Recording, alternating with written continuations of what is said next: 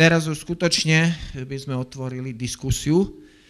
Trošku sme improvizovali, ako vidíte, zrazu sme to zmenili, auditorium, auditorium, ale teraz máte autorov, ktorí sú fyzicky prítomní, ktorých môžete osloviť a prípadne s ich štúdiami aj začať polemizovať, pokiaľ ste ich už mali k dispozícii.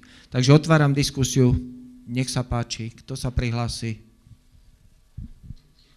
Ja mám takú otázku na tých, ktorí sa odvážia na ňu odpovedať, že eh, či môžeme transformáciou dospieť ku socializmu?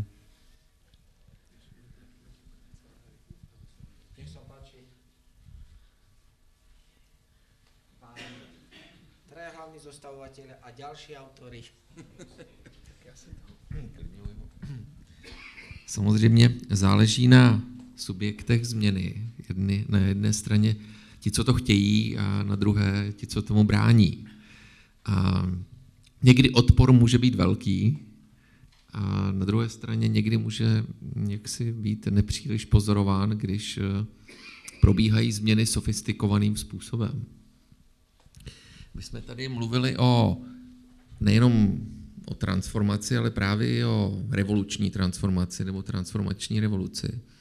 A je otázka, zda tedy eh, může k takovýmto zásadním proměnám, jakou jste se ptal, dojít těmito eh, mezními způsoby.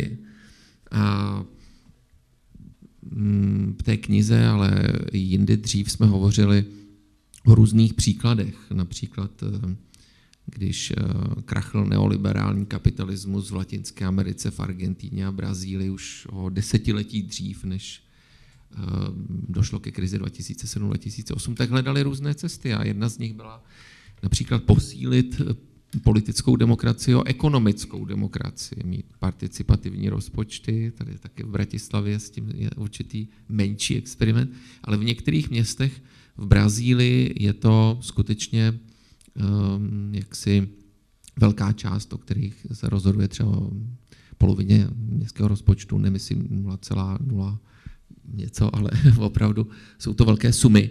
A potom, když občané vlastně mohou rozhodovat nejenom o politickém programu a politicích, ale i o rozpočtu, vesnice, města, státu, třeba jednotlivé Brazilské státy mají kolem 10 milionů obyvatel. Brazilská prezidentka Dilma Rousseff eh, chystá vlastně zavedení participativních rozpočtů a celého systému participativního i na celobrazilské úrovni pro 200 milionů lidí. Tedy, jo. Takže to už jako jsou velké změny. A je otázka, jak vlastně takto dohromady nejenom politická demokracie, ale s rozhodováním o um, rozpočtu a často to jsou i rozhodování třeba o majetku, občané mohou třeba generovat také, mm, motivovat eh, ke vzniku těch vesnických a městských a krajských a státních podniků, to pluralita vlastnictví, různé společenské formy. Eh, dál v období otázkách bezpečnosti různé státy v Evropě trvají na tom, aby stát vlastnil plynovody nebo rozvody elektrické sítě ve Francii nebo jinde diskutuje se o tom. Takže vlastně může tady být celé spektrum takovýchto transformačních revolucí nebo revolučních transformací, které mohou probíhat delší dobu, ale může dojít skutečně ke změně režimu. A pochopitelně, pokud um, ti, kteří jsou uh, u moci v současné době globálního kapitalismu a budou postupovat Eh, tak jako v posledních letech, tak eh, patrně dojde k nějaké eh, čistě revoluční změně, protože lidé si patrně nebudou chtít nechat líbit um, různé formy nespravedlnosti. Ale dovolte mi, abych zmínil ještě jednu věc, kterou považuji za důležitou, a to identifikovat subjekt změny, který by prováděl tuto změnu, nejenom který by se bránil, ale který by prováděl tuto změnu. A v této souvislosti eh, samozřejmě zkoumám klasické západní, a nejenom západní, ale hlavně jako západní subjekty změny, sociální hnutí a různá revoluční a transformační hnutí a tak dále, které byly v minulosti, jaký je jejich potenciál, ale mm, tyto formy odporu vlastně se částečně přelily do jiných zemí mimo západ, ale jenom částečně. My vlastně očekáváme, že lidé budou protestovat, budou na náměstích a na ulicích a takto vyjádřený odpor je považován za nesouhlas s režimem nebo s nějakými drobnějšími uh, aktivitami v rámci daného režimu. Je ale otázka, zda to není západocentrický pohled. Vlastně proč považovat, eh, jako když se nějaký politik vás zeptá třeba, vy mu řeknete, že se vám něco nelíbí, on se ptá, no ale vidíte tady někde davy lidí na ulicích, že by protestovali proti tomu? To je jako klasická odpověď. Ale lidé přece mohou projevovat odpor různými jinými způsoby. Mohou pocitovat nespravedlnost, nesouhlas a nemusí být na náměstích a v ulicích zejména ve třetím světě. A tady je možné vidět subjekt změny. Lidé v rozvojových zemích nemají často peníze ani na přežití. Přežívají ze dne na den. Nemají finance jít někam do města protestovat, nebo i kdyby mohli, tak to nestačí. Mohou jít do hlavního města své země, ale tam se také nerozhoduje o těch klíčových věcech, ke kterým dochází. Že? Hlavní města rozvojových zemí většinou nejsou prostory pro rozhodování o globálním kapitalismu. Takže často to pokládají za marné a ani, ani to dělat nemohou ze svých finančních důvodů. Ale přesto vyjadřují každodenním bojem o uznání, každodenním bojem o přežití nesouhlas s mnoha nespravedlnostmi. Kdybychom skutečně udělali takovýto globální výzkum, tak zjistíme, že miliardy lidí nejsou spokojeni. A když budeme hovořit jenom o globálních chudých, ne o nějaké střední třídě a tak dále, tak jsou to víc než jedna miliarda lidí žije podmínkách chudoby, při nejmenším, když to budete počítat jinými způsoby, taky dvě miliardy nebo i více. A to je přece silný subjekt změny. Ano, můžete říct, že ještě není připraven, nejsou, tento subjekt je rozdíl mezi subjektem o sobě a pro sobě tak dále. Známe to od Hegla už. A, teda věcí o sobě a pro sebe a potom se subjektem. A, v pozdější myšlení. Mm, můžeme ale říct jednu věc, tak jako v minulosti otroci taky nebyli považováni za potenciální subjekt změny, ale začali se postupně bouřit a i když neudělali celkovou změnu, tak provedli různé různé vzpoury, někde revoluce a tak dále. Vzepřeli se. A nestačí, aby jenom oni zevnitř chtěli. Musí k tomu být i uzrále sociálně-ekonomické podmínky. Ale ty podmínky uzrály, když vlastně bylo vhodnější pro mnoho podnikatelů najímat lidi za mzdu. Námezdní pracovníci. A proto Británie a další vlastně pak byli pro zrušení otroctví a nastolení vlastně jiného režimu. A toho mohli otroci využít, těchto podmínek a vzepřít se. A já se ptám, jestli vlastně v současné době, kdy jsou podmínky pro um, zlepšení situace, materiální podmínky globálních chudých, kterých jsou skutečně velké masy, a zároveň firmy přece chtějí odbytiště pro svoje zboží. Není současná situace v těchto desetiletích připravena na tuto zásadní změnu. Neříkám, že to musí být po čínském způsobu, ale neudělala Čína něco podobného? Když v zemi, kde je přes miliardu lidí, eh, zhruba 400 milionů žije na stejné úrovni, jako se žije v EU. Dalších 400 milionů žije pod touto úrovní, ale nejsou už v chudobě. A dobře, ještě zbývá 400 milionů, kteří žijí v chudobě. Ale těch 800 milionů už ne. A na to Číně stačilo několik desetiletí. Nedošlo k nějaké zásadní změně v Číně, kdy dvě třetiny lidí se dostali z chudoby a nehraje Čína roli klíčové ekonomiky na prvním nebo druhém místě na světě? Eh, nepodniká Čína různé kroky v Africe a v rozvojových zemích? Není Čína nositel změny v tom systému globálního kapitalismu Nepřináší tam nové podněty, například v Africe chápána jako modelová země, kterou mnohé země tam následují. Nemusí to být zrovna čínský model, může to být jiný model. Ale Čína ukázala, že lze dělat domácí politice ve své zemi a Čína pak v mezinárodním a globálním prostředí významně působí a kdyby nekupovala ty americké obligace, tak asi americká ekonomika už zkrachuje. To znamená, došlo tady k nějaké zásadní změně a právě tím, že byly ti velké masy chudých vtaženy do ekonomiky.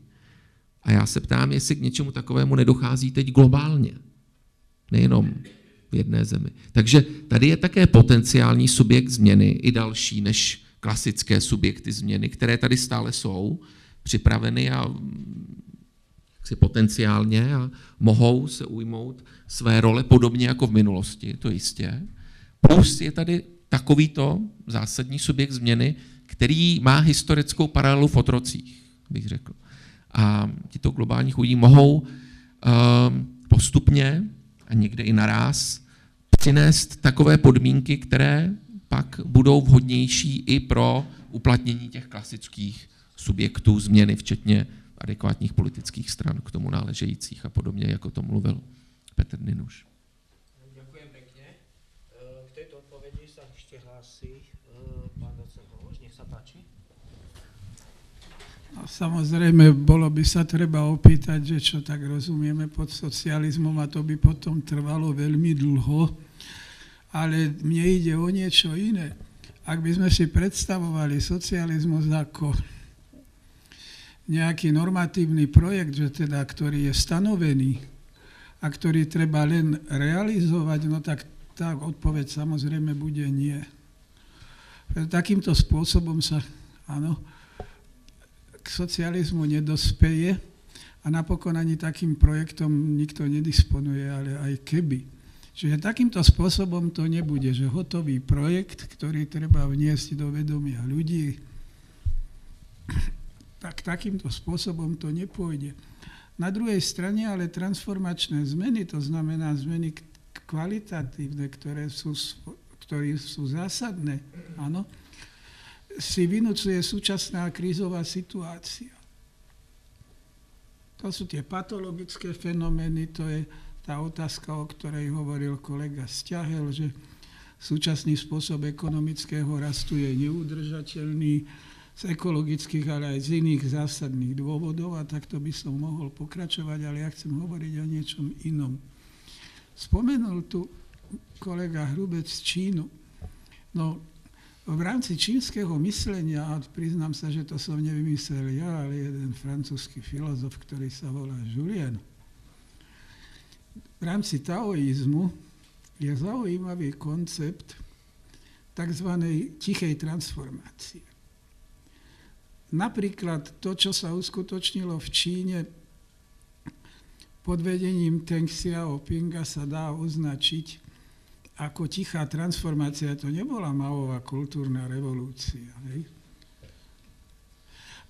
A na rozdiel teda od tých katastrofických obratov, ktorými prešlo Rusko, tak Čína bola úspešná.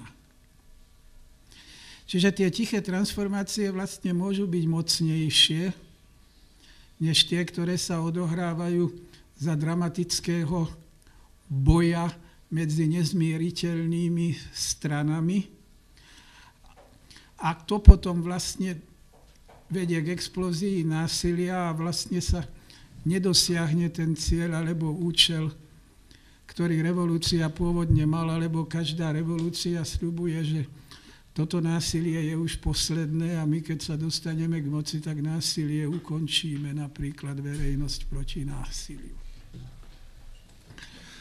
Takže jedna vec je tichá transformácia, ďalšia vec potom ako na to ísť na tie zmeny? No tak to, čo treba riešiť, je extrémna nerovnosť. Budeme mať 21. oktobra v univerzitnej knižnici, ale na Klariskej seminár k tej známej knihe Tomasa Pikettyho Kapitál. A teraz by som chcel ešte na jednu knihu upozorniť, lebo o tom budeme hovoriť v októbri. Ten rentierský kapitalizmus, že vlastne teraz už ide o to, že parazitickým spôsobom, teda ide áno, o kapitalizmus, ktorý je založený vlastne len na živote z nejakého dôchodku alebo nejakej renty, a ktorý nevytvára teda nejaké hodnoty. Ale chcel by som ešte jednu knižku spomenúť, Známy kriticky zmyšľajúci ekonom Joseph Stiglitz vydal teraz rovnako hrubú bychľu ako Piketty a volá sa Learning Society, aby som to preložil samoučiaca spoločnosť. Áno. Áno, áno, creating, vytváranie, vytváranie samoučiacej spoločnosti a tam v podstate ukazuje, že Washingtonský konsenzus viedol do slepej uličky, že trh nie je samospasiteľný, ako perspektívne odvetvia rozvojové, do ktorých by teda sa malo najviac hej, aj investovať, pretože industriálna éra skončí alebo skončila, tak sú prosím pekne školstvo, vedecký výskum a zdravotníctvo. Teda tie, ktoré sa u nás riadia za globálneho kapitalizmu rovnako prostredníctvom zvyškového, zbytkového princípu, ako tomu bolo v reálnom socializme. Hej? Že keď tie materiálne hodnoty v rámci tej industrializácie vytvoríme tým extrémnym vyložením a nerentabilným, pravda, nerentabilnou spotrebou zdrojov a niečo nám zostane, tak potom dáme aj na tieto, áno tzv. duchovné alebo kultúrne hej, účely. A že tieto sú práve tým rozhodujúcim faktorom a budú priťahovať, áno, tak povedia z investície. Hej. No a ak toto nie je socializmus, hoci tam z tej celej knihe o socializme nie je ani slovo, no tak potom ja neviem. Však toto je predsa socializmus. Marx hovoril, že tým hlavným bohatstvom je rozvoj ľudských bytostných síl. Takže ak teda mám odpovedať na tú otázku pozitívne, tak v tomto zmysle. Že vlastne aj ten koniec industriálnej éry si vyžaduje, lebo tie ďalšie zdroje, tie sú limitované, tie materiálne. Ale ten tvorivý rozvoj človeka, tak ten nie je limitovaný, čiže si vyžaduje takú spoločnosť, ktorá tento rozvoj bude umožňovať a v tom prípade môžem odpovedať na tú otázku, že či výsledkom transformácie bude socializmus skladne. Ja len krátko, myslím, že veľké otázky v živote národov sa rozhodujú z pravidla násilnou cestou a socializmus patrí k týmto veľkým otázkam v živote národov. Zoberme si krajiny, ktoré nastúpili nekapitalistickú cestu vývoja alebo tú trajektóriu socialistickú Čína, Vietnam, Vietnam Kuba, Rusko. Boli to, boli to násilné, násilné revolúcie. Ale na druhej strane môžeme povedať, že ak teda nehovoríme, čo je presne socializmus, ale čo obecne sa označujú za socialistické krajiny východnej Európy. Tie nastolili tú trajek- nastoli, začali tú trajektóriu socialistického vývoja viac menej transformačne a nie revolučne. Lenže došlo by k ním nebyť eh, druhej svetovej vojny? Asi ťažko a to boli tiež násilná záležitosť. Takže skôr sa kloním k tomu prvému, že násilnou cestou. Revolučnou. Chce ešte niekto pokračovať? Tomto kole. Fergo, chceš sa vyjadriť, nech sa páči. Ja len vlastne takú historickú poznámku, to je naozaj, naozaj veľmi dôležitý problém. Eh, tá, pre, prebiehal taký ten spor medzi Weberovcami a marxistami. Weber bol presvedčený, že kapitalizmus je tak povediac ocelovo tvrdá škrupina, ktorú ľudstvo nikdy už zo seba nedokáže dostať. Na druhej strane stáli marxisti, ktorí tvrdili, že avšak to je tak povedať elementárne, elementárne tvrdenie, že kapitalizmus sám vytvára predpoklady svojho, svoj, svojho pre, pre, prekonania. No, lenže, lenže keď, eh, sa, keď marxisti spomínajú, tak povedať, túto, túto stránku vytváranie predpokladov vlastného pred, e, prekonania, teda, že kapitalizmus vytvára podmienky svojho vlastného prekonania. Obyčajne sa odvolávajú na to, čo Marx napísal v 40. rokoch, na začiat, možno na začiatku 50. rokov, ale obávam sa, že keď človek podrobnejšie číta to, čo Marx napísal, nakoniec aj v Kapitáli a ešte predtým v Grundrisoch a vôbec v 70. rokoch, čo písal, že pravdepodobne aj, aj on došiel k presvedčeniu, že, že nie, tak povediac, tej schopnosti ukázať mechanizmus, kedy dojde k tej konečnej kríze, k tej veľkej kríze. Ukázal, ako prichádza ku krízam, avšak eh, ukázať na tie faktory, ktoré by vyústili do tej veľkej krízy, ktorá definitívne ten systém roz, rozložila. Obávam sa, že, že to čítanie, ktoré hovorí, že tu zrazu Marx badal, že ten mechanizmus tam nie je, takže to, to čítanie je bližšie, bližšie k, k, tak povediac, k adekvátnemu pochopeniu zmyslu toho, toho, čo napísal. Tie zmeny, ktoré tu prišli, to boli politické zmeny. To boli politické zmeny. Oni ne, nemenili to, to podstatné, teda tú, tú základnú formu koordinácie, s ktorou prišiel, prišiel kapitalizmus, respektíve nedokázali byť konkurenciou tej základnej forme koordinácie, teda cez ten trh, ktorý je usmerňovaný usmerňovaný cez zisk, alebo inými slovami cez kom, komodifikáciu. To boli politické rozhodnutia, že to bude takto a takto. Aby, aby som to teda už úplne, úplne, úplne zrozumiteľne alebo úplne jed, jed, jednoducho povedal, eh, ani, jedna, ani jeden z tých systémov neukázal cestu, ako dosiahnuť eh, vyššiu produktivitu práce, ako ako dosiahol, dosiahol ten typ trhu, ktorý je charakteristický pre, pre kapitalizmus. Pri všetkom rešpekte k tomu, čo sa dosiahlo, možno pre Rusko bolo šťastím, že revolúcia prebehla, určite, určite civilizačná úroveň, povedzme, stredoazijských spoločností bola počas sovietskej éry oveľa vyššia, ako je, ako je, ako je v súčasnosti, alebo ako bola, bola, bola pred, pred, pred revolúciou. No ale predsa len, keď na to pozeráme v globálnom globálnom kontexte a na tej modelovej úrovni, tak nepodarilo sa nájsť mechanizmus, ktorý by bol reálne vytláčal ten mechanizmus, cez ktorý sa produkuje a reprodukuje kapitalizmus. Tak aspoň môj názor. Ešte raz, tie zmeny parciálne, čiastočné sú možné, len keď hovoríme o socializme, tam ide o tú základ, základnú zmenu a tam si musíme položiť otázku, že ako, čo, čo to vlastne znamená. Ďakujem pekne uh, profesorovi Novosadovi. Tu sme sa dohodli s pánom kolegom, nech sa páči. Ďakujem. No, otázka, otázka, ktorá ma nielen teraz napadá, ale v podstate napadá ma už zhruba okolo roku 85-86. Či, či existuje niečo širšie ako iba makroekonomický pohľad na spoločnosť, ktorý, ktorý zdá sa, jak, jak tu bol nejakým spôsobom nainštalovaný a potom aj prijímaný a potom aj nejakým spôsobom zazemnený, ako keby zabrzdil mnohým ľuďom včítaním teoretikov a vedcov iný pohľad na spoločnosť. Tak otázka vlastne je taká, že či tieto úvahy o revolúcii, transformácii dokážu nejakým spôsobom prekonať a nazvem to otvorenie makroekonomickú obmedzenosť. Marek hovoril o nejakých kritériách, či už 10 ročia, staročia, možno aj tisíc ročia.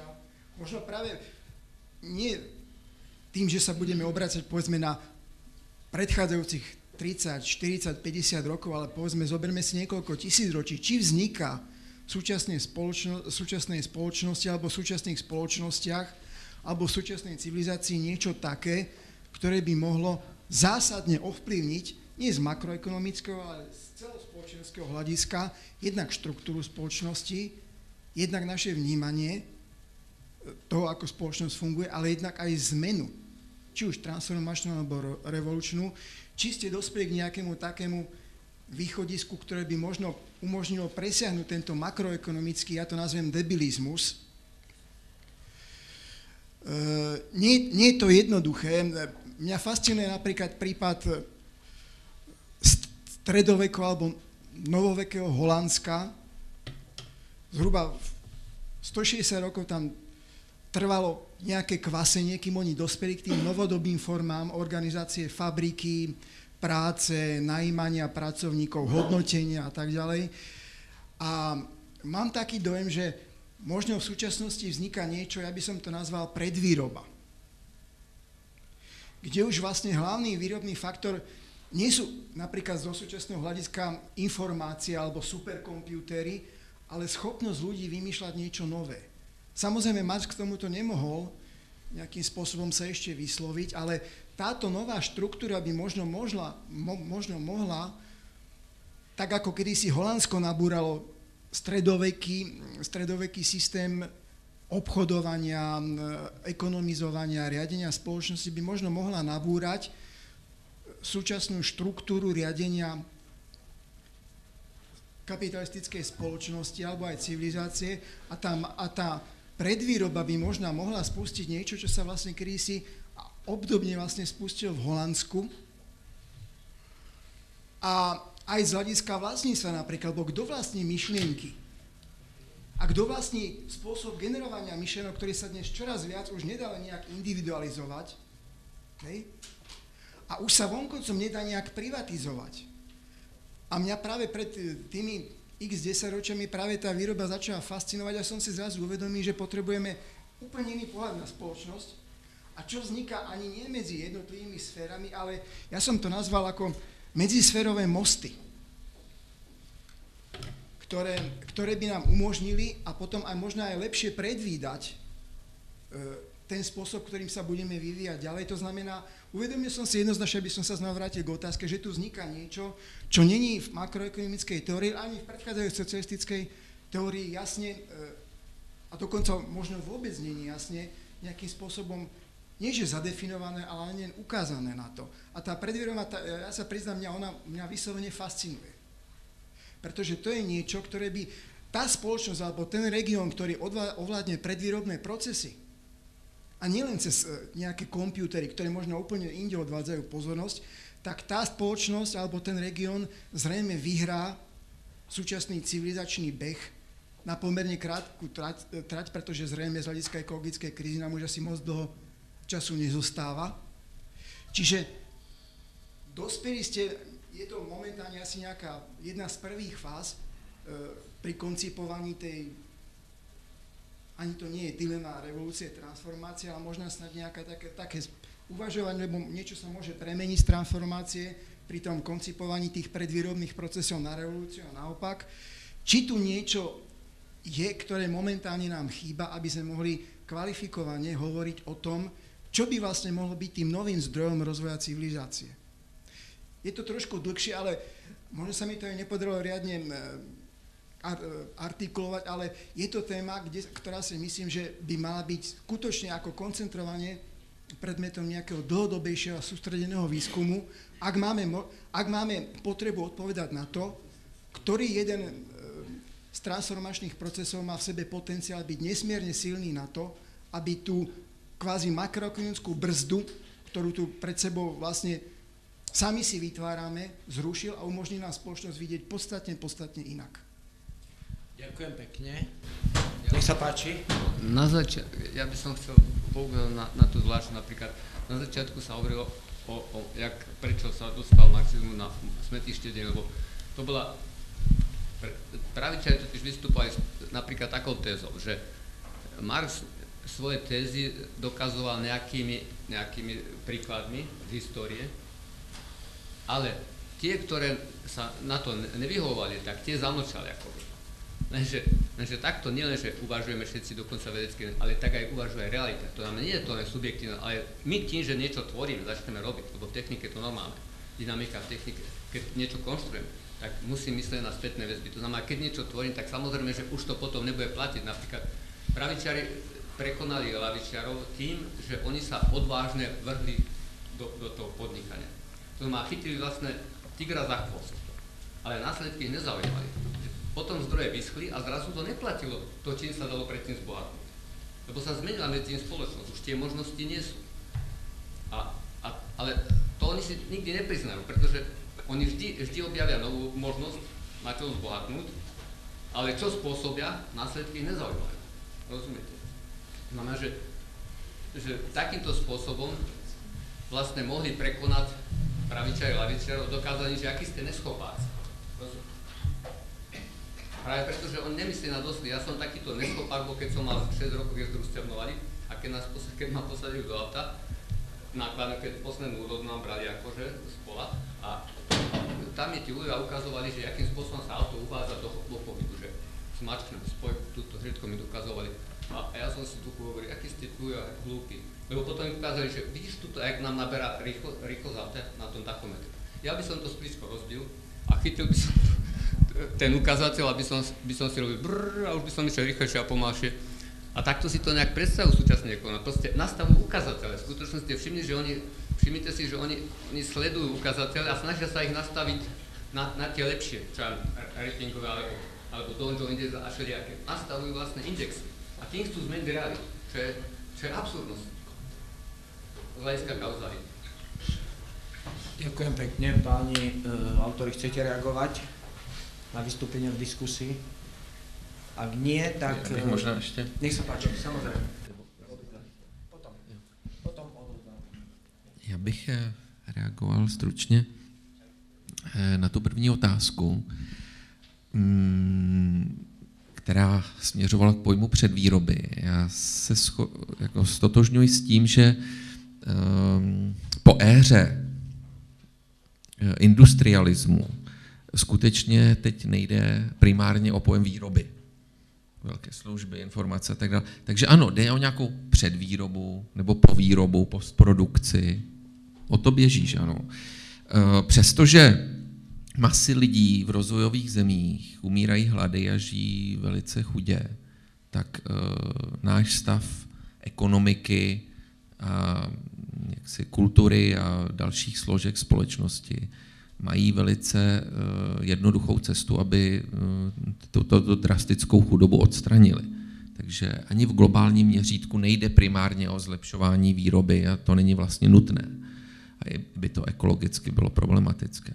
Souhlasím teda, že jde jako o nějakou předvýrobu nebo povýrobu, ale možná bychom to ani neměli nazývat jako v souvislosti s tou výrobou, aby to pořád nebylo výroba a něco, pre nebo post, ale podívat se, Eh, skutečně, jak, jak zaznělo i v, i v tom komentáři, na komplexnější sociální vztahy, v nich žijeme a v nichž je výroba, předvýroba nebo postvýroba jenom součástí. A já se snažím, teda ne v této knize, ale ve své od zneuznání ke, ke spravedlnosti formulovat právě eh, zjemnění vztahů sociálních a artikulací různých bojů o uznání, různých bojů o spravedlnost, vlastně bojů proti nespravedlnosti každodenních, ale politických, ekonomických, kulturních, celé spektrum, které vlastně pomůže více artikulovat tuto postindustriální éru a najít v té kritice, a pak tedy v deskripci o normativitě, ehm, artikulaci vlastně nových vztahů, jemněji a tak dále. A s tím souvisí teď přeskočím, i ten nový subjekt změny, nebo jeden ze subjektů v globálních chudých, protože zatím byl ignorován. Zatím vlastně tito lidé byli dáváni stranou, protože na ně v minulosti ta výroba nestačila, ale teď stačí. A mohou se stát um, jaksi v nějakém problematickém smyslu třeba uh, novými zákazníky, konzumenty a podobně. V pozitivním smyslu ovšem mohou tím činit nějaké změny, protože se dostanou do interakcí se eh, zbytkem globální společnosti a tak dále. To je rozporný proces samozřejmě. Takže souhlasím s tím, um, touto cestou, asi bych to vysvětlil, i když to teď jsou jen takové zlomky, kterými se to snažím stručně nastínit. Ale na závěr ještě bych k tomu řekl, abych navázal na eh, profesora Novosada, že sice um, jaksi reálný socialismus kolaboval, ale ku podivu Eh, se dokázal velice etablovat navzdory eh, vnitřní i vnější kritice za těch 40 nebo 70 let.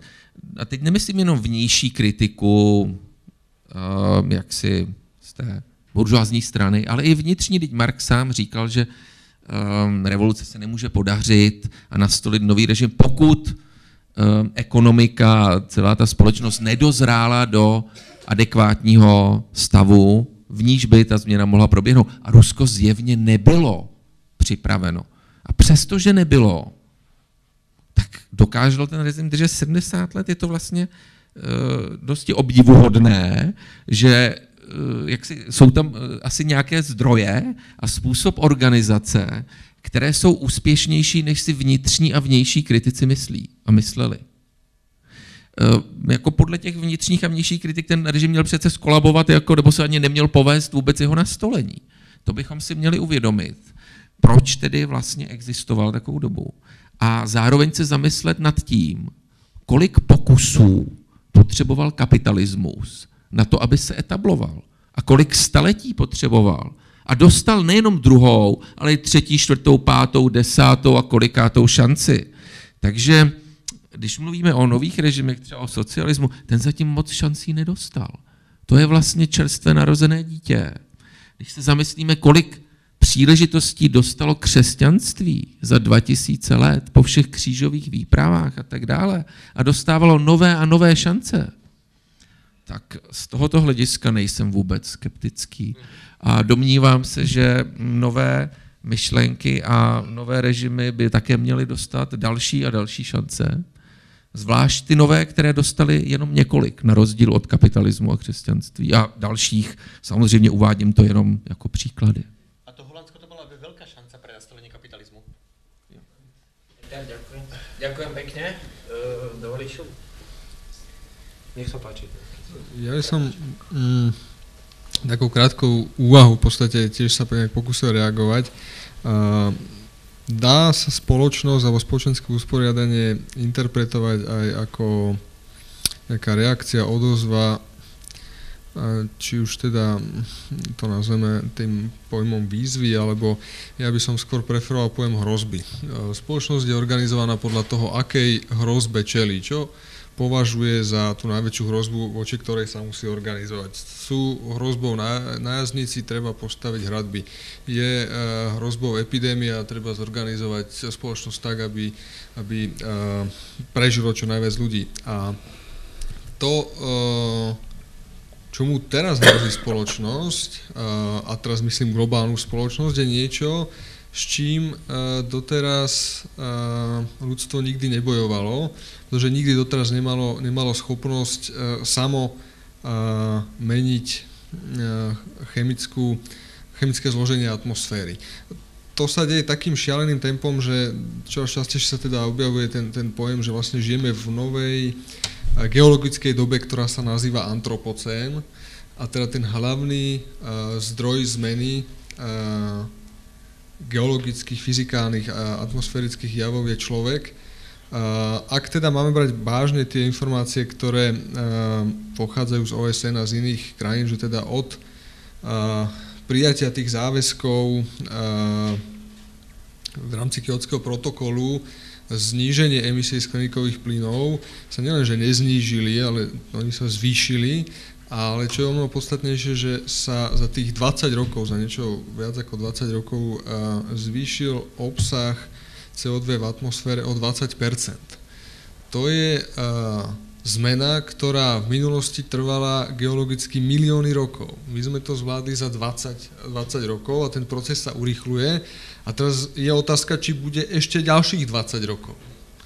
A uh, potom je teda otázka toho, uh, čo je hrozbou, je hrozbou chudoba, je hrozbou epidémia, alebo je hrozbou fyzické prežitie. Bude ešte vzduch, ktorý bude mať o 20% viac CO2 obsah vôbec dýchateľný. Čiže pokiaľ, pokiaľ by tá premisa platila, že spoločnosť je organizovaná podľa toho, akej hrozbe čelí a predovšetkým, akú hrozbu si uvedomí, pretože väčšina ľudských komunít zanikla. A to sú tie, ktoré nesprávne identifikovali hrozbu. Je taká interpretácia, ktorá, ktorá hovorí, že vojny sa vyhrávajú skôr, než začnú to je v tých krajinách, kde, kde tí ľudia objavili nejakú technológiu alebo nejakú organizačnú zručnosť, dávno predtým, než, než ju vlastne museli použiť v tom, v tom svojom boji s hrozbou, ktorá, uh, ktorá nastane. Ona často tá hrozba nastala po rokoch. A tie rozhodnutia, ktoré urobili dávno predtým, vlastne umožnili nejakým spoločenstvám prežiť, nejakým spoločenstvám neumožnili prežiť. A kľúčové sa tam potom ukazuje tá schopnosť identifikovať to, čo je reálna hrozba. A uh, my sme v situácii, kedy, kedy množstvo vedcov a množstvo ukazovateľov, ktoré sú teda merateľné v rámci všetkých tých tej klimatológie, ktorá sa tým začala zaobrať relatívne historicky nedávno, ukazujú na prudké zmeny, zmeny, ktorým, ktorým v podstate, ktoré v minulosti prebiehali 10 tisíce, niekedy milióny rokov, tak my sme to stihli za pár desaťročí. A spoločnosť jednotlivé spoločnosti, národné, štátne, ale ani globálne v podstate na to nereagujú. To je, to je hrozba, a, a, ktorá je jednoducho bezprecedentná a je, a, zdá sa, nepredstaviteľná, tým pádom neuchopiteľná, takže a, ja mám z toho taký pocit, že a, sa na ňu nereaguje. A teraz je otázka, či bude schopné na ňu, na ňu ľudstvo reagovať a ak bude, tak to bude, bude teda musieť byť zásadná transformácia alebo potom asi je otázka, či teda vôbec ešte bude nejaká ďalšia šanca, o akej, o akej uh, tu Marek hovoril, lebo uh, keď sa, keď sa takým zásadným spôsobom zmení chemické zloženie atmosféry a oceánov, a to je napríklad uh, vec tretina ľudí na svete žije z morských živočichov, ale tým, ako sa mení chemické zloženie atmosféry, mení sa aj chemické zloženie oceánov, a v podstate v oceánoch uh, prebieha masové vymieranie, ktoré, ktoré v iných obdobiach trvalo milióny rokov, tu zase sme to stihli za pár desaťročí a reálne hrozí, že za pár desaťročí tretina ľudstva príde o svoj základný zdroj potravy. Čo to bude znamenať pre sociálnu uh, situáciu celosvetovú, pre bezpečnosť celosvetovú a samozrejme tie politické konsekvencie, ktoré z toho vyplynú, tie je ťaž, ťažko domyslieť. Čiže otázka je, či vôbec vieme identifikovať tú správnu hrozbu, ten správny problém, na, ktorý, na ktorý treba reagovať. Je výroba, efektivita výroby v tejto situácii to hlavné? Neviem, ja pochybujem. Ďakujem pekne. Ďakujem pekne, trošku sme preskočili, lebo chceli pán profesor Novosa. Je tam tá pani. Ja viem, dáma, ja som len si reagovali na dvoch kolegov v diskusii. Nech sa páči, pani Ďakujem. Ďakujem. Ja by som chcela zareagovať na poznámky pána Stiahľa a na krn, pána Krnu. Pán Stiahel hovoril o súvislostiach medzi ekonomickou a environmentálnou krízou. To je ten najvážnejší moment, ktorý by sme mali v spoločnosti riešiť. A pán Krno hovoril o nositeľoch transformačných zmien. No podľa môjho názoru nositeľmi transformačných zmien a revolučných zmien bude spoločnosť vedomostná. A musíme si dávať veľký pozor, lebo manipulatívnosť masami by nás mohla dostať do situácie, kedy by sme vlastne so svojou spoločnosťou mohli skončiť. Sociálny aspekt zmeny a transformácie už prebehol. Budúcnosť bude revolučno-transformačná v zmysle alternatívnej, alternatívy humánnej a environmentálnej, čo je vyššie štádium vývoja spoločnosti, vedomostnej spoločnosti. Ďakujem. Ďakujem pekne. Medzi tým, dámy a páni, kým sme diskutovali, prišiel medzi nás, e, medzi nás pán docen Škvrda, jeden zo spoluautorov knižnej publikácie, ale skôr, než mu udelím slovo, ešte pán profesor Novosa, ty si chcel... Nie? Dobre, Ferko, máš slovo. Nech sa páči. Takže ja sa ospravedlňujem, že kvôli zaneprázdneniu som sa dostal až teraz a už ako si nemôžem veľa rozprávať, aby som to neskomplikoval ďalej.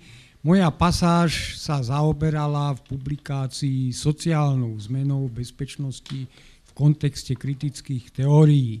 Takže pokúsim sa to zhrnúť do takých štyroch poznámok a potom poviem jednu takú novšiu vec. E, prvé východisko je to, že pojmy a fenomény zmeny a bezpečnosti sa neráčia, lebo každá zmena prináša riziko.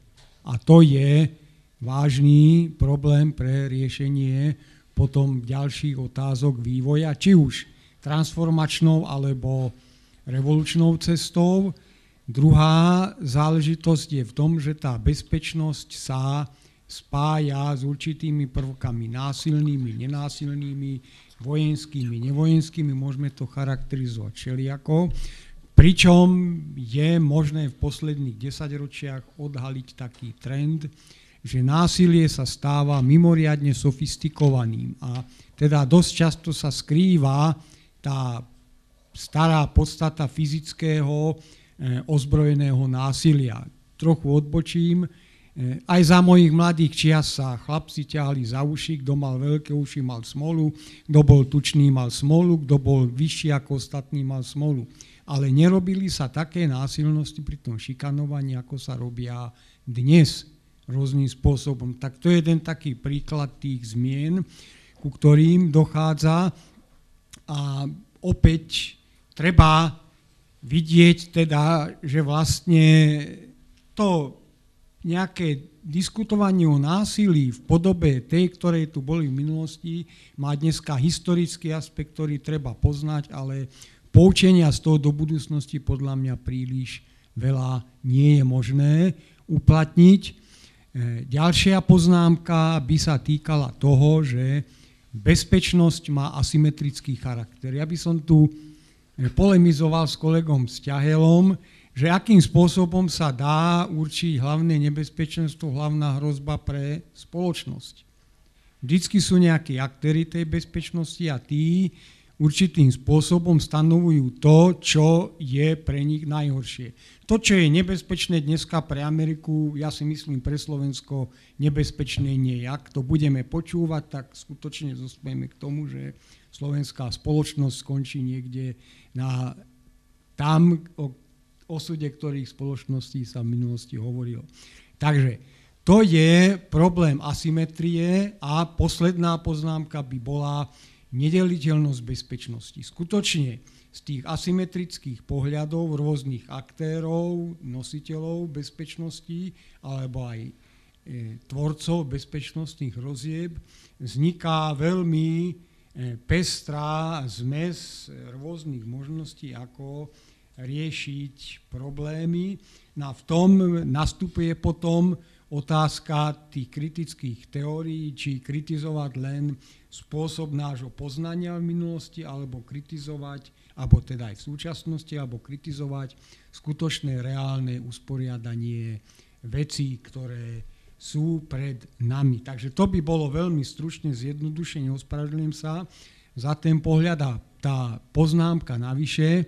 No, ja som toho názoru, ja som nadšený škótským prípadom, nielen kvôli Skotusovi Viatrovi alebo Setonovi Vetsonovi, ktorý sa Slovákov zastal v čase najväčšej maďarizácie, ale v tom, že tam sa ukázala jedna z možných nových revolučných ciest.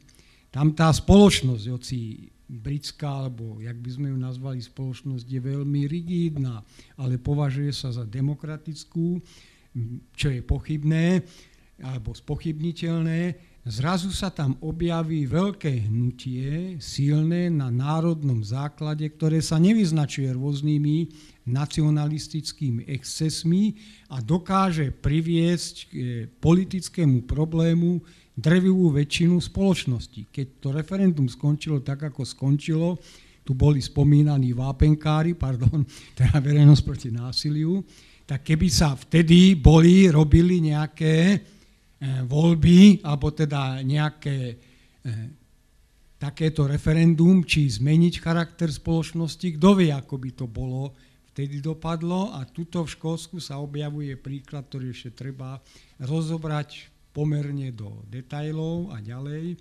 A teda ukazuje to, akú podobu môže mať tá revolučná zmena spoločnosti, ktorá nebude v tej podobe, ako my máme naše predstavy o revolúcii z knížiek a ďalej je možné povedať, že množstvo, a tým skončím, množstvo takýchto drobných krokov môže ten systém, ktorý panuje, ktorý tu bol pred chvíľkou z rôznych stránok charakterizované, skutočne položiť. A tá cesta nie je zrejme vo veľkom hráčovi, ale v tom, že množstvo malých hráčov tak vychýli tú rovnováhu spoločnosti, že ten systém, ktorý sa zdal neohroziteľný z rôznych dôvodov, zrazu prestane fungovať a objaví sa niečo iné a vznikne nová šanca pre to, čo tu bolo spomínané. Takže ospravedlňujem sa za určité zjednodušenia, ktoré boli nevyhnutné v tomto krátkom pohľade. Ďakujem za možnosť spolupracovať na publikácii a za možnosť vystúpiť. Ďakujem pekne eh, docentovi Škvrndovi za doslova bleskový, stručný srho, súhrn jeho názorov aj k jeho, problém, k jeho problematike, problematike. Pána docenta Škvrndu poznáme, že vystupuje pravidelne eh, v televízii k týmto citlivým témam bezpečnosť, bezpečnostným bezpečnostným.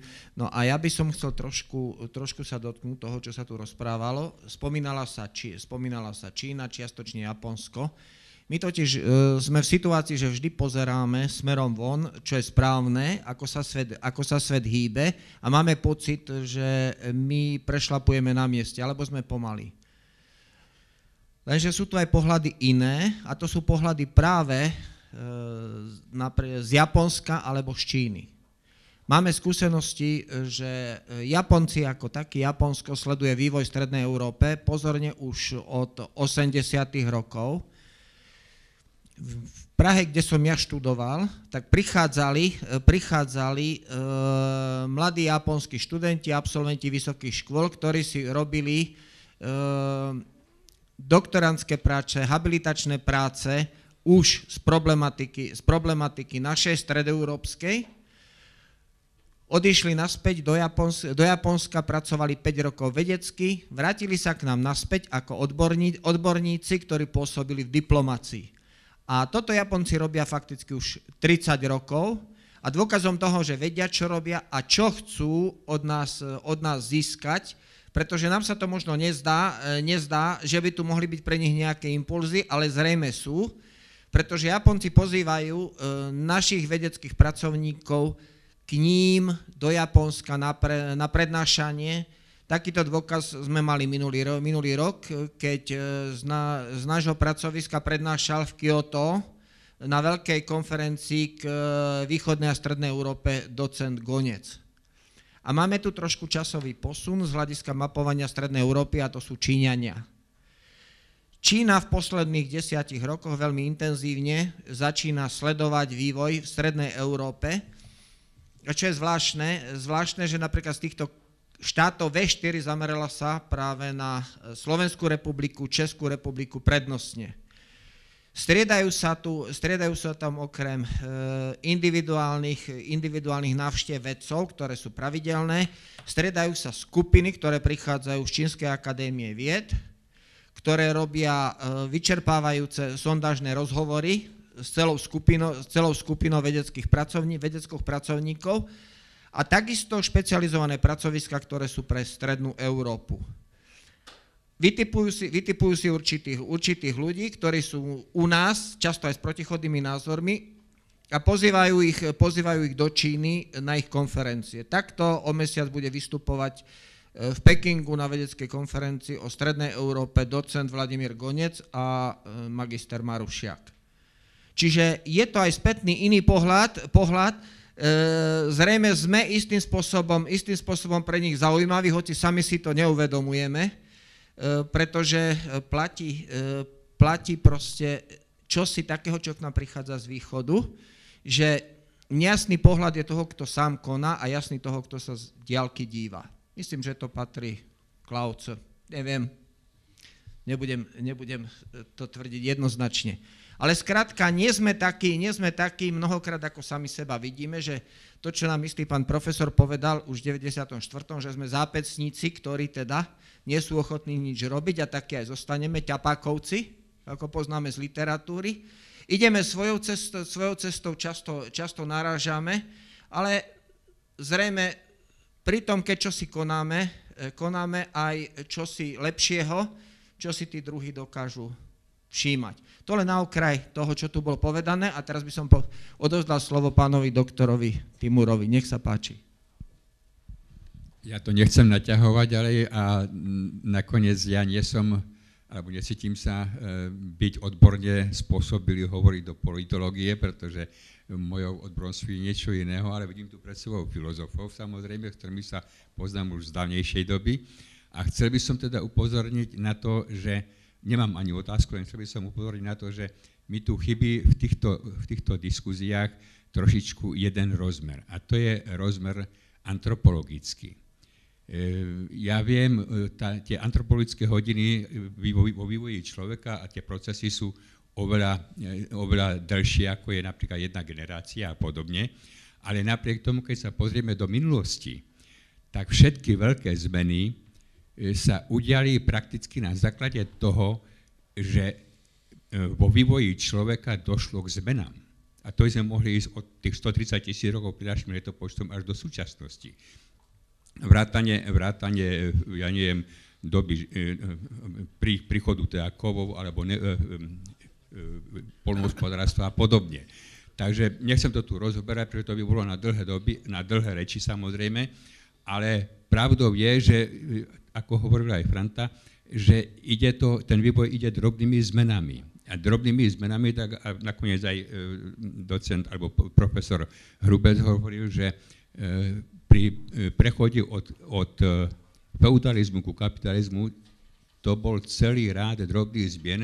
Ten, ten feudalizmus, tých, tá šľachta mala všetko v rukách napriek tomu bola prevalcovaná vlastne tou novou skutočnosťou, tom, tým rozvojom vlastne kapitalistických vzťahov. Ja si myslím, že niečo podobného teraz zažívame. Mohli by sa vrátiť treba aj do obdobia Rím, e, do, do konca vlastne rímskej doby, keď takisto vlastne tá autokrátska spoločnosť proste končila a nastupovali postupne prakticky od 3. storočia až do 6. prebiehali tie zmeny. Čiže tie zmeny skutočne pre, prebiehajú proste postupne, ale vzhľadom aj na to, ako sa vyvíja sám ako človek, ako biologický tvor. A samozrejme, že zmeny telesné sa už ne, ne, proste nedejú, ale dejú sa vo vedomí človeka. A tie, keď si zobrieme, čo sa udialo za 50 rokov v, elektro, teda, e, vlastne v elektrotechnike, tak to sú obrovské zmeny. Takže si myslím, že aj tu by bolo treba zobrať do úvahy trošičku tento rozber. Ďakujem. Ďakujem pekne pánovi doktorovi Timurovi. Obraciam sa na, plénu, na plénum. Kto chce vystúpiť ešte s otázkami? Nech sa páči. Hovorilo sa tu na, o potrebe revolučných zmien, transformačných zmien, ale o tom vie aj druhá strana. Kto je to druhá strana? Každý má inú predstavu, kto je to tá druhá strana. E, treba sa opýtať, e, tým revolučným zmenám treba čeliť, že tým treba zabrániť. Že?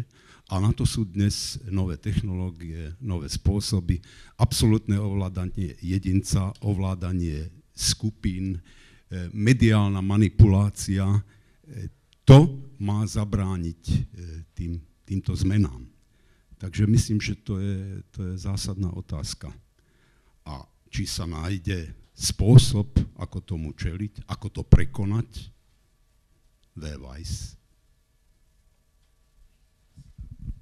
Ďakujem pekne. E, prosím vás, e, ešte z pléna, pán kolega. Áno, samozrejme, nech sa páči.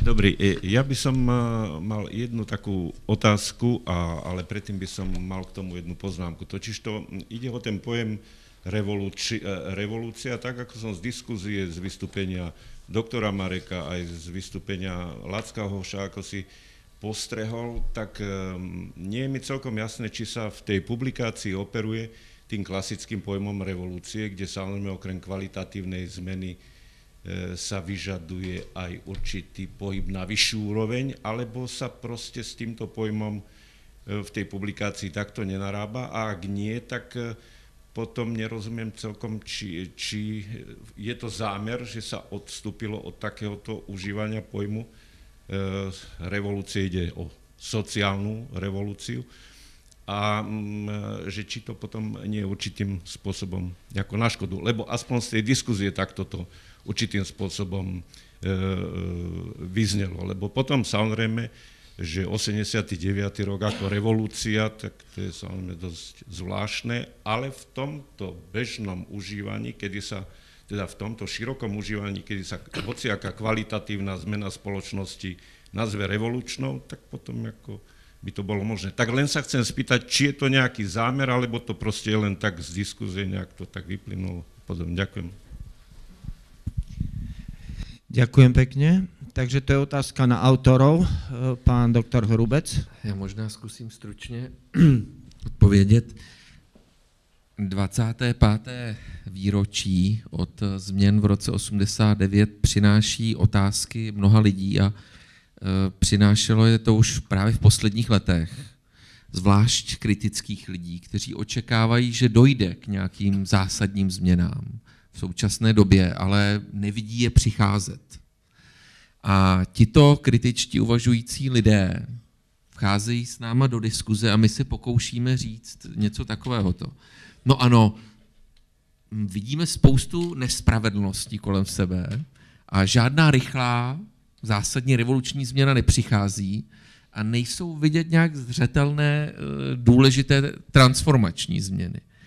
No a nechceme říct jenom skepticky, no, tak co se dá dělat, že ano, a nedělat nic, tak se pokouším analyzovat změny, které probíhaly a měly nějaký nestandardní charakter.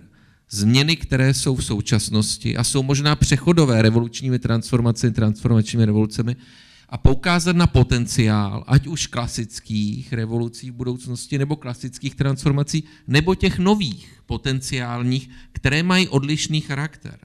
A jak jsem říkal v tom svém prvním vstupu, takové to klasické pojetí revoluce je vlastně koncept moderní doby, od té francouzské do, eh, do té ruské. Ale já jsem se pokoušel vyjádřit a eh, v této knize, ale jinde, že se můžeme dívat na revoluční změny v širším smyslu a vidět, o co jde. Jde vlastně o to vidět nějaký funkcionální ekvivalent, který existoval i jindy, kromě tohoto moderního období od francouzské do ruské revoluce.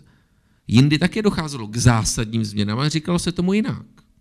Nebo byly déle trvající. Ano. A ten pojem revoluce vlastně máme až od Koperníka, že ano, odvozeno z pohybu uh, nebeských jaksi těles. A poté vlastně se přenáší do společenských věd. No ale podobné změny funkcionální ekvivalent fungoval i v minulosti.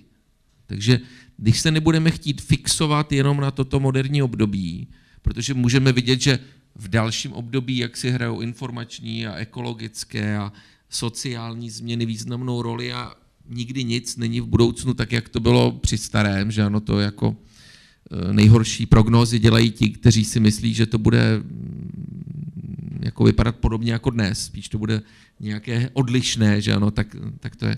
Tak se pokoušíme také vztáhnout k těm uh, revolučním změnám a transformačním změnám budoucnosti a hledat vlastně ty odlišnosti potenciální, prognosticky, jak by uh, mohly jaksi probíhat tyto sociální, ale i další změny jinak. A tudíž se dostáváme k širšímu termínu revoluce, což neznamená, že uh, zavrhujeme ten klasický, ale pracujeme i s jinými, abychom objasnili, že v současnosti možná už k něčemu dochází, a nebo k něčemu brzo dojde. Ať už v pozitivním nebo negativním smyslu. Ďakujem pekne pánovi doktorovi Rubcovi. Cene to, prosím vás, k tejto problematike revolúcie, tak ako bola položená otázka, vyjadriť z autorského kolektívu. Ja len takú poznámku, trošku možno odbočím, ale možno sme málo hovorili o tom, že povedzme, aké sú, aké sú výdaje, aké sú straty, keď e, vlastne sa nastolí nejaká revolučná zmena, prípadne e, dlhodobá transformačná zmena. Pán, ktorý tu sedel na začiatku, asi pred dvomi, tromi týždňami s kým si polemizoval o tom, že niekedy sú aj obete nevyhnutné. To bolo v súvislosti, povedzme, s výročím Slovenského národného povstania. Ale samozrejme, nie každá obeď je e, nevyhnutná. Ja trošku už pomaly ideme záveru, odbočím od také hlbokej teórie. Ja som si pred mesiacom starej, niekedy na začiatku prvej republiky vydanej Takurovej knižky, pripomínam Takur ako prvý nositeľ Nobelovej ceny z Ázie, ktorý tieto veci tak trošku návonok banálne, ale hlboko popísal, on pozoroval uh, malého, malé dieťa, ako sa učí chodiť. On teda tvrdí, že stále padá, stále je doráňané, nik neverí, že niekedy bude chodiť a naraz ono chodí. Končí odstavec Tákura a je to podľa mňa super revolučná zmena. A, ale je to samozrejme problém aj tú druhú stránku, aby sme E, e, boli teda v tom reálnom svete. Pán profesor Novosa spomínal, povedzme, vlastne tú etapu sovietskú, teda hovoril, že samozrejme to, e, čo si prinieslo, problém bolo samozrejme za aké obete. A, ale mali sme tu ešte, a máme tu ešte jeden príklad, ktorý vychádzal absolútne z nepripravenej, aspoň podľa Karola Marsa, krajiny, Číny, ktorá spočiatku sa snažila kopírovať sovietské skúsenosti a nejaké ekonomické výsledky pozitívne to neprinášalo, skôr naopak. Potom tam sa uskutočilo niečo, čo bolo ďaleko horšie ako ten chlapec alebo to dievčatko, čo sa učí chodiť. Kultúrna revolúcia v Číne, čo ja by som nechcel zažiť, ale zase si uvedomujem, a prepáčte, že som teraz osobný, pred tromi dňami som ešte bol v Nepále, Horolci hovoria, keď padne lavína, potom sú hory najbezpečnejšie. A ja by som nechcel zažiť pád lavíny tak ďalej, ale mám taký pocit a z môjho európskeho pohľadu, z pozície humanizmu, nechcem to celkom prijať, ale po tej strašnej kultúrnej revolúcii vlastne ide 35 rokov extrémny, reálny ekonomický rast, ktorý, a tu už to bolo povedané, sa spája aj so sociálnymi zmenami, minimálne s tým zavedením dvojtretinovej väčšiny. Že aspoň by sme to mali študovať, asi nie kopírovať. Pán docent Čáky z fakulty z Trnavy. Nech sa ti páči. Ďakujem. Trochu ma profesor Krnov inšpiroval aj ďalší čo sa týka Číny. E, viem, je to nový fenomén, teraz všetci uvažujeme, že Čína a tak ďalej, ale kedy oni začali robiť tieto zmeny? To, neboli ľahký, to nebol ľahký proces. Tu pán profesor spomenul kultúrnu revolúciu. Ale oni v tom 76. roku, keď kultúrna revolúcia končila, zomiera Cho Enlai a Mao Tse-tung, oni nemali iné východisko, ak by boli pokračovali v tom dogmatickom sledovaní marxizmu, hoci mal, revidoval marxizmus a dosť vážnym spôsobom, tak ten systém e, tej moci totalitnej, ktorý tam bol, maoistickej, by sa nebol udržal. Tam skutočne hrozil obrovský výbuch. A neviem, akým šťastím, že bol tam ten Xiaoping, veľmi malý postavou, ale obrovskú, obrovskú invenciu mal, že povedal, udržíme moc politickú, tie štyri princípy, ale otvoríme Čínu svetu. A od, od, od 76. roku, už 78. rok, už začali robiť tieto ekonomické transformácie, ale politický systém netransformovali. Prečo? Po prvých úspechoch, ktoré mali v 70-80 rokoch, túto situáciu sa nevyužila u nás ešte, keď existovalo to vedenie, keď ešte mala, a neviem, vtedy strana moc v rukách. Ba zoberme si, že boli tie vzťahy napäté za období Brežneva, tak ďalej, Číňania boli vyhlásení za revizionistov. Čiže my sme sami tým, e, ja neviem, nezmyselným e, ostávaním alebo pením, alebo ja neviem, na tých dogmatických poučkách prišli o túto šancu. Je tu otázka, mohli sme otvoriť E, určitý systém a ísť podľa vzoru Číny. Veď to bol obrovský trh, čínsky trh a krajín sovietského zveda v tej ľudovej demokracie, veď tam bol obrovský trh. Mohli sme túto zmenu robiť? Mohli sme. To znamená, bol ten čínsky model, mohli sme ho kopírovať? Áno. len tá gerontologická spoločnosť tam jednoducho trvala na tých starých poučkách a my sme neboli schopní tvorivo čo si myslieť. Zoprieť sa určitým naučeným, eh, ja neviem, formuláciám a robiť čosi nové. Ani v Číne to nebolo jednoduché. Zoberte si prvá fáza revolúcie, Tiananmen, ale vtedy postavili si otázku. A bol to Teng Xiaoping, ktorý povedal, buď my, alebo oni. A na tom námestí Tiananmen to vyriešili. My sme to vyriešili tu vtedy? Nevyriešili sme to. Alebo ako sme to vyriešili. To znamená, oni tých konzervatívnych politikov čínskych, ktorí sa ob- vracali naspäť k tomu Maovi, odstránili postupne a začali sa otvárať svetu a začali mať obrovský, obrovský ten rozvoj ekonomiky. My sme túto šancu nevyužili, ba naopak, začali sme robiť transformáciu spoločnosti, politickú, oni opačne, vznikol chaos. Ekonomický chaos, politický chaos a sme tam, kde sme. Takže to poučenie z Číny sme začali študovať veľmi, veľmi neskoro. Ďakujem. Ja by som to len definoval ako rozdiel medzi Ďakujem veľkým pekne. a malým národom. Dobre. Uh, áno, samozrejme. Uh, Henry Kissinger, keď robil po vietnamskej katastrofe Spojených štátov amerických tú svoju stratégiu, ako balans, balancovať, vyrovnávať sily vo svete, tak navštívil Čínu a pri stretnutí s Chou Lajom mu položil otázku, že čo si myslíte o francúzskej revolúcii a Chou Laj mu povedal, že viete, 200 rokov je príliš krátky čas. Áno, je to pravda pre ríšu stredu, ktorá sa koncentrovala už štátne e, pred našim letopočtom, tak jednoducho e, takéto obdobia 200-ročné, 200-ročné sú veľmi krátke, no aj samotná Čína sa dostávala do krízy a paradoxne dostáva, dostala sa do krízy práve vtedy, e, keď sa cítila na svojom vrchole a začala sa uzatvárať. A začala, znova sa, znova sa začala, začala hýbať e, fakticky až na prelome 19. 20. storočia. Čiže to je dôkaz toho, že naozaj treba reagovat na svět, aj keď jsme vynikající. Nech se páči, Marek. Já bych měl takový doplněk.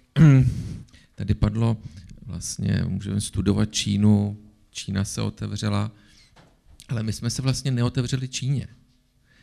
Eh, když my jsme měli takový myšlenkový experiment kolem roku 89, hm, já bych rád věděl, samozřejmě dějiny nelze měnit, odpověď na otázku, která souvisí s tím, že paradoxně se západní kapitalistické státy dokázaly domluvit s Čínou na levné výrobě a nedokázali to středo- a východoevropské socialistické země. To je takový paradox. A já chci věřit tomu, že v roce 89 občané šli do ulic, protože chtěli tak zoufalé svobodu a demokracii, i když čím dál tím víc myslím, že chtěli stejný konzumerismus, který viděli v Německu a v Rakousku a v jiných západních zemích. A docela by mě zajímalo, eh, co by se stalo, kdyby Gorbačov s Husákem a s dalšími zaplavili naše samoobsluhy levným čínským zbožím před rokem 89. Jinými slovy, kdyby udělali to samé, co západní země, které z Číny toto levné zboží dostávali na své pulty. A ti naši milí konzumenti by toto čínské levné zboží mohli konzumovat stejně jako západní konzumenti. A nevím, jestli by měli mnoho revolučních motivací v tom roce 89, kdyby došlo k takovéto kooperaci střední a východní Evropy s Čínou. Na to se ptám sám sebe a uh, nejsem si jist o demokratickém smýšlení našich středoevropských občanů uh, neboli konzumentů. naozaj takéto úvahy už e, môžu byť iba v rovinách, v rovinách hypotéz, hypotéz. To, čo si spomínal, že dejiny sa nedajú meniť, ale dajú sa rôzne interpretovať. Dámy a páni, Zdá sa, že pokiaľ ide o plénum, otázky, otázky sme vyčerpali, aj vystúpenia. Poprosil by som teraz predstaviteľov nášho autorského kolektívu, ktorí majú záujem ešte na záver vystúpiť, povedať niekoľko slov. Nech sa páči. Ja by som chcel len poďakovať aj ľuďom, ktorí technicky sa pričinili o realizáciu tej práce. To znamená, že tým predovšetkým aj tým, ktorí vykonávali jazykovú redakciu za české texty, pani Alene Bakešovej za slovenskú časť, pánovi Emilovi Borčinovi, Eve Gálikovej, Jane Pospišovej a všetkým e, z vydavateľstva Veda. Áno, ďakujem pekne naozaj. E, bolo to komplikovanejšie vytvoriť túto knihu ako pri bežnej, bežnej knižnej publikácii, ale podarilo, podarilo sa, je na svete. Ak tam objav, objavíte nejaké chyby, nech sa páči budeme, budeme radi, radi, aby sme sa vedeli poučiť, pretože stalo sa nám aj čosi takého pri inej knižnej publikácii, ktorú sme robili e, počasovým tlakom, že kniha ako taká e, vyšla s textom, s obsahom kvalitným, ale obalka ako taká, e, vyrobili sme z nej takúto, takúto peknú a predovšetkým obsažnú knižnú publikáciu. Podotýkam, nie je to učebnica, je to kniha na diskusiu, na polemiku, ktorá nám dá im